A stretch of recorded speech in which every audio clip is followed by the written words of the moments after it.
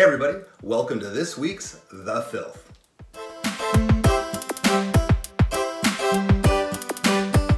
Good question. There's a ton of Less Than Jake songs to talk about, but if I were to pick one, it would be Johnny Quest Thinks We're Sellouts. There'd be so much to talk about with that one, and um, just be careful what you wish for. I may be on my own show soon talking about that song.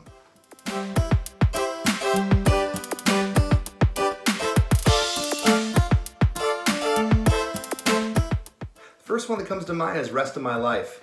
We've had fans that think that that's a love song that was written about their life to uh, a tragedy about their life, and uh, in turn, it, it, is, it, was a tragedy. Our, Vinnie wrote that about his grandfather who passed away. There's a lot of references to New Jersey in there, where Vinnie grew up and where his uh, grandfather uh, lived and uh, and passed away. So uh, I'd say say "Rest of My Life" is the one that has a you know a sad, tragic meaning behind it, but people take a, a number of Uh, their own meanings uh, to what that song uh, is for them.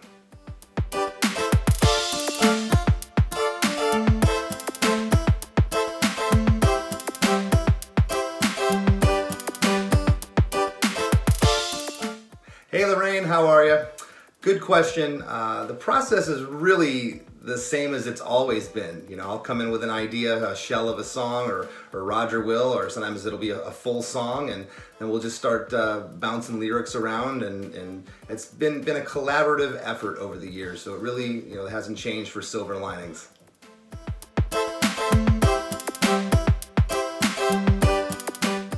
The best ones?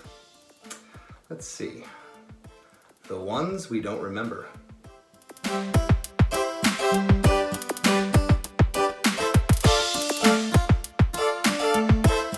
Hey George, you need me to hook you up with a hearing aid? I know someone in the business. in all seriousness, my, the best way for me to take in music, I like to just uh, get a playlist and, and, hit my car and take a nice long, long drive, uh, road trip. And uh, that seems to, to work the best for me to just kind of zone out listen to the music and, and try not to overly, you know, think about it uh, too much and just let it do what, it, what it's gonna do.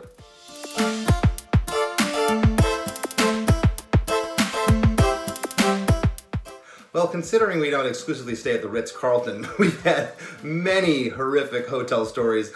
One that sticks out would have been around 1996, 97, Losing Streak Tour. We were in Ocean Beach, California, which is near San Diego, and uh, we got in that morning and I remember walking over, I say morning, it was like three in the morning, walked over to a, a, store next to the hotel to get something to drink.